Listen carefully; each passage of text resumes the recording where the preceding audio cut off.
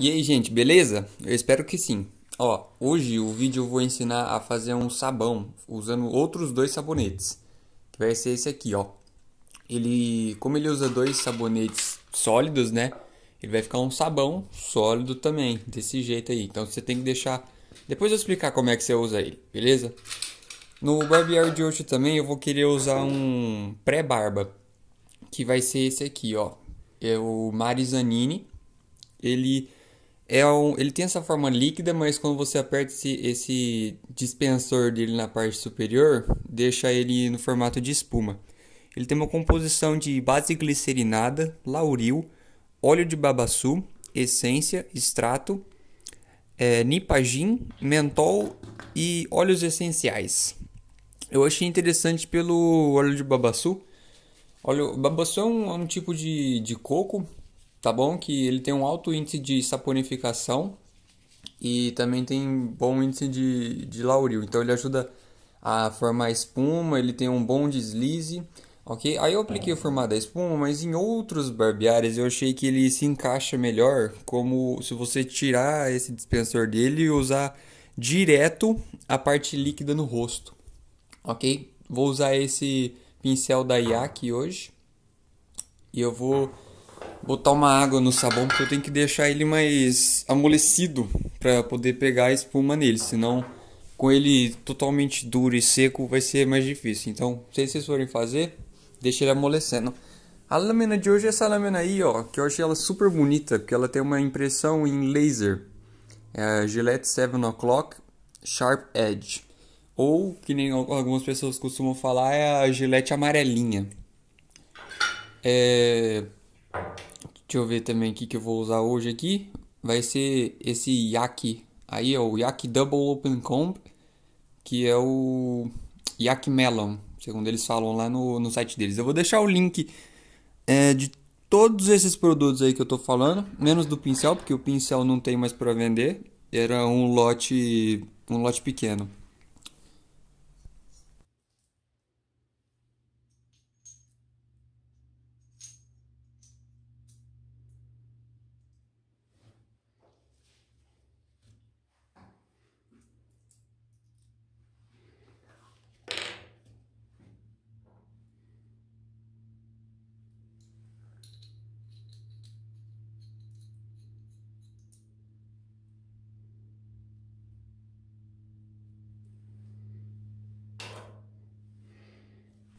Aí como eu já mostrei, eu estou usando o mesmo cabo de sempre que eu uso. E eu deixei uma água aí no sabão, para dar uma amolecida, mostrando. Tem, isso aí chama blooming, tá? Quando você deixa uma água no seu sabão para amolecer ele, trazer as essências dele, todo esse, esse papo aí que o pessoal fala. Beleza? Eu coloquei o pincel não muito carregado. Se vocês colocarem um pincel muito úmido, vocês vão ter que ficar mexendo mais tempo, porque vai ficar muito aguado, vocês vão ter que ficar mexendo até ficar consistente. Se você coloca o pincel um mínimo molhado, só um pouquinho de água, ele fica bem denso e carrega muito. Olha aí, eu peguei muito sabão só com essa carregada que eu dei aí. E na hora de aplicar também, ó, ó como é que fica, perfeito. Eu prefiro é, para mim, uma coisa que eu achei que fica super interessante e muito bom é você pegar o seu creme ou o seu sabão com um mínimo de água, mas pelo menos um certo tanto, né, para poder trabalhar ele. E aos poucos você vai trabalhando, porque eu tenho espumas muito melhores trabalhando desse jeito. Se eu pego um sabão e aí já pego um pincel bem úmido assim e vou mexer nele, ela não fica legal, fica com muita água, aquela espuma rala, não fica tão densa. Com esse sabão aí, que eu me lembro, sempre ficou super densa a espuma, sempre. Então, uma dica que eu dou aqui agora, como saber também se você está com o pincel no ponto, se ele está bom. Você vai tirar o molhar só a ponta do pincel, é, ou você pega o pincel é, e levanta ele em cima da pia.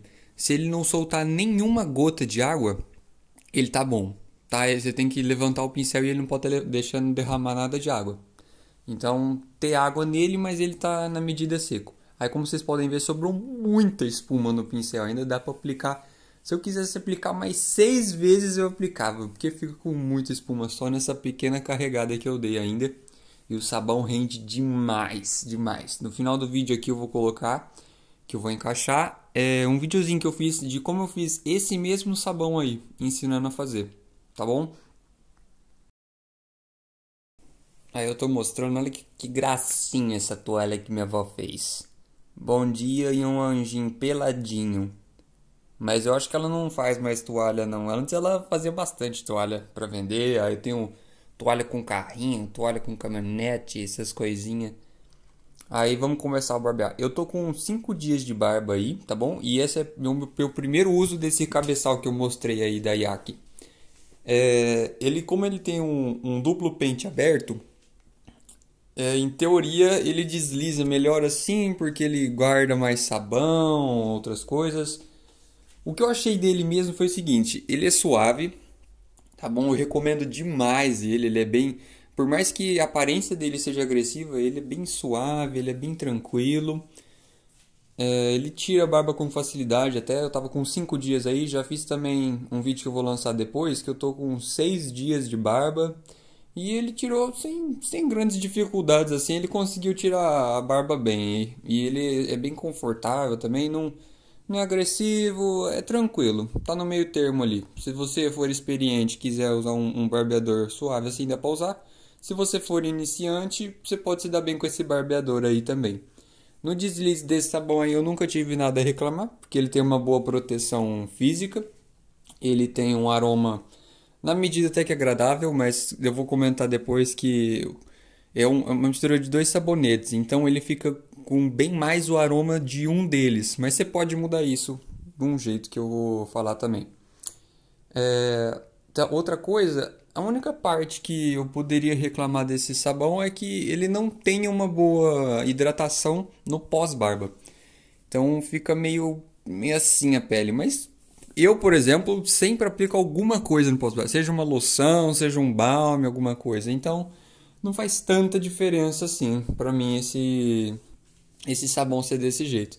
Mas também tem como vocês mudarem isso na hora de fazer o, o sabão de vocês.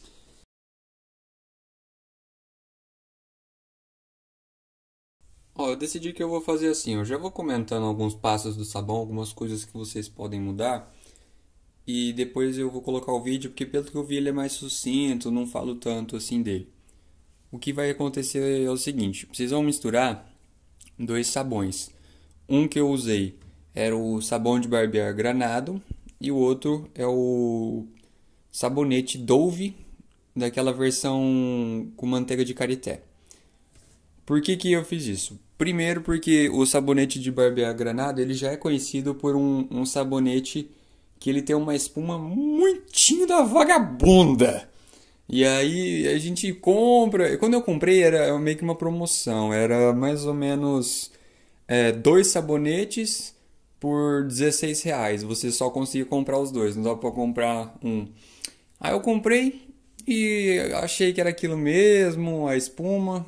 Mas aí depois eu comecei a ver que outras pessoas também ach... É, comentavam aquilo e era um consenso que é uma espuma é bem fraca, bem ralinha a espuma dele. Então eu fiquei um pouco decepcionado. Mas então eu encontrei num fórum, que eu vou colocar aqui também, um, um método de melhorar esse, esse sabão e deixar ele sensacional. Que é misturando ele com esse outro sabão do, da Dove. O que é interessante desse sabão da Dove é que ele forma uma espuma super densa também. Ele tem uma hidratação da manteiga de karité e a Dove já é conhecida porque eles colocam cerca de um quarto do, do sabonete deles com creme hidratante na formulação. E o que já fica bacana enquanto a espuma está no rosto. Ok? Depois que passa no rosto, não achei que fica tão hidratado assim não. É, uma coisa, vocês vão fazer um sabonete, vocês têm que prestar atenção no aroma dos dois sabonetes que vocês estão misturando. Ok? O, o de barbear da Granado, ele tem um, um mentolado que puxa um pouco para algum tipo de bala, alguma coisa assim. Um mentolado desse tipo, um mentolado meio doce, nesse, nesse esquema assim. E o Dove tem um cheiro de Dove mesmo, não, não foge muito daquilo não, com um pouco de aroma de semente, mais para esse lado. O que, que eu usei que eu acho que combinou. Eu usei óleo, só que o óleo que eu usei era óleo mineral, não era óleo essencial. Usei óleo mineral de menta. Só que uma coisa que eu já vou recomendar, eu recomendo que vocês usem um óleo essencial de menta. Que o óleo mineral de menta não vai mudar tanta coisa. O, o essencial sim, esse vai trazer um aroma de menta, vai enriquecer mais a menta do sabão da Granado e eu usei glicerina. A glicerina, ela é mais para, Ixi, Maria, caiu a glicerina que estava na minha mão. A glicerina, ela é mais para hidratação. Então, eu recomendo que vocês podem usar um pouco mais do que eu usei de glicerina no vídeo. Eu vou colocar depois a quantidade de tudo lá enquanto eu estiver fazendo. E vocês podem colocar um pouco mais de glicerina enquanto vocês estiver fazendo. E vocês podem se sentir à vontade para colocar todos os tipos de é, óleos essenciais que vocês acharem que podem combinar com aqueles aromas. Vocês podem fazer o aroma que vocês acharem melhor. Só que antes, separe esse, esse óleo na mão, no, no dorso da mão assim, e sente o cheiro dele, sente o de sabão para ver se vai combinar. Senão você pode misturar tudo e acaba foi uma coisa que você não vai gostar e não dá certo. Aí no final já do barbear, foi, foi tranquilo esse barbear aí. Eu acho que eu não, não me cortei nenhum ponto, pelo que eu me lembro. Foi bem de boa. Passei essa loção aí que eu fiz em casa também. Acho que eu tenho que fazer um vídeo para ensinar ela também depois, não lembro. Vou ensinar ela a fazer algum dia ainda. E essa época eu tava meio frio ainda, então usei esse balme aí da Kumaru para dar uma hidratada. Que é uma coisa que eu vou, vou comentar depois também. Se você usa uma loção, o seu rosto pode ficar um pouquinho mais ressecado, porque a loção vai dar o aroma, vai limpar o seu rosto, ação antisséptica. Agora, para hidratar mesmo, ou um bálsamo, um balme, um creme, qualquer coisa desse tipo, um gel, tudo isso já serve para dar uma, uma certa hidratada no seu rosto. Então, nessa época de frio, de tempo seco, sem chuva, é sempre interessante fazer isso, que pele ressecada também não é pele saudável.